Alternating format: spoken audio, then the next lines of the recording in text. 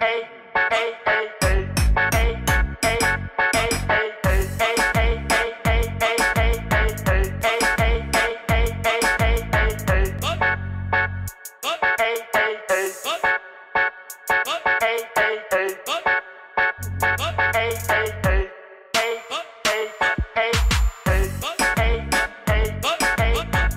Tão importante para gente essa conexão da aldeia com a periferia, com a favela. E como, como podemos reconfigurar os nossos, as nossas relações afetivas, tornando elas efetivas, econômicas de fato.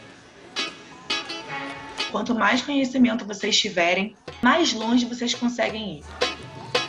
La, la música que domina eh, el espacio sonoro de la gente es una música que nace en la calle, que nace en la rúa, son músicas populares.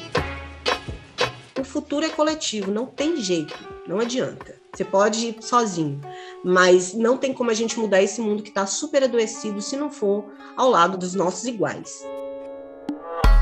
Colocar pessoas jovens, negras, periféricas, LGBTQIA+, PCDs, mulheres, dentro do debate, dentro das pautas criativas, é bom para o coletivo.